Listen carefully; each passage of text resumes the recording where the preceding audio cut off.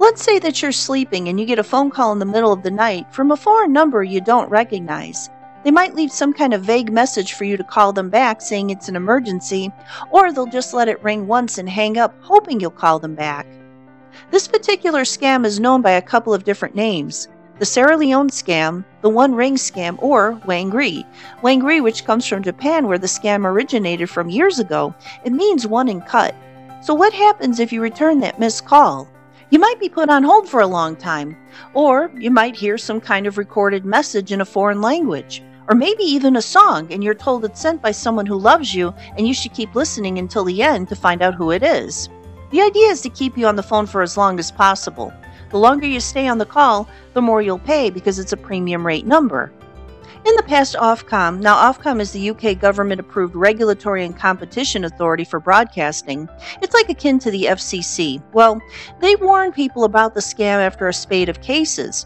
The fraudsters used automated systems to continuously dial multiple mobile phone numbers at a rate of up to 3,000 per minute.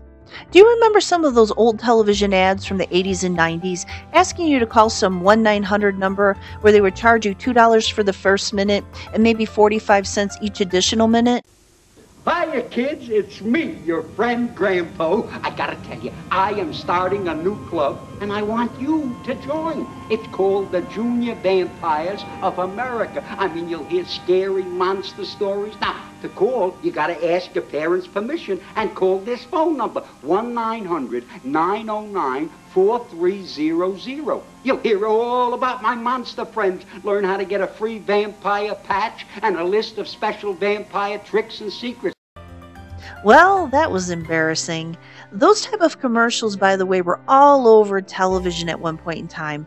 When you called the number, you ended up paying a lot of money just to hear a recording. But the Wangiri scam is quite a bit worse.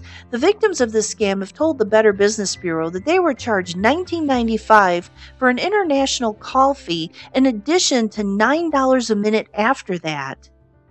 Most of the users reporting the scam said the calls normally came from outside the US, like Comoros, Liberia, Tunisia, and the Cook Islands, and a few others, but some did come from the US.